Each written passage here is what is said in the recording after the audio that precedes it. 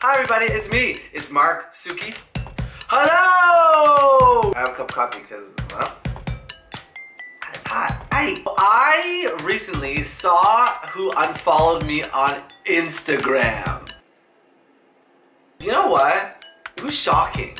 Oh, I thought you were my friend. How could you unfollow me? I thought that I had all these close bonds to people and they would, you know, just like follow me because like we had a bond, you know, like I knew them from elementary school, I knew them from high school, I used to work with them. But I found this app where you could check your unfollowers and I was like, excuse me? Like, who do you think you are trying to unfollow me like that? There's even some people that still go in and like my pictures just so I think they're following me, but then they're not following me, which takes a lot of effort. Why are you even doing that for? If you're gonna unfollow me, just own it.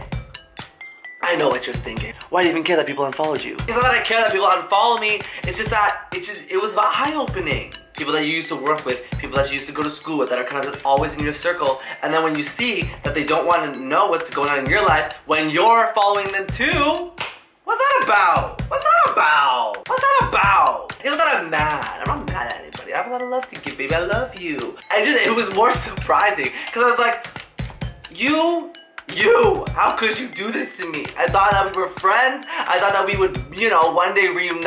I thought we would hang out like we used to. I'm so sorry. Maybe I let them down. Maybe I'm, because you're wearing this pigeon shirt. Hey, pigeon shirt, pigeon shirt, pigeon shirt.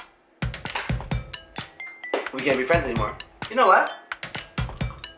There's a fruit fly in my apartment. That's disgusting. I'm taking a stand. If you unfollow me on Instagram and you're watching this, you're rude, you're disrespectful, and we can no longer be friends.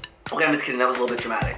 To be honest, it's not a big deal if someone unfollows you. You have to realize this, that people aren't gonna follow you just because they're your friend, or well, they will follow you because they're your friend, but people have so many different interests. Like my friend Minette, she loves baked goods so much. So her feed is probably all of baked good stuff. Why would she follow? She better be following me or else. But why would she follow somebody who posts singing videos when that's not her thing?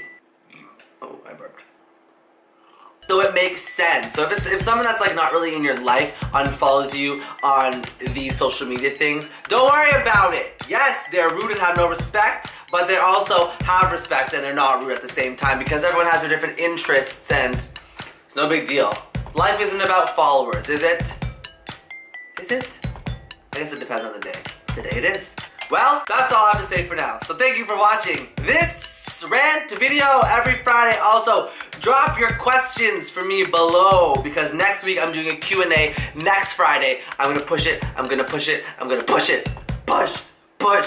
Watch this video, watch this video, and uh, subscribe, like, comment, and share, and four videos a week. Oh, okay.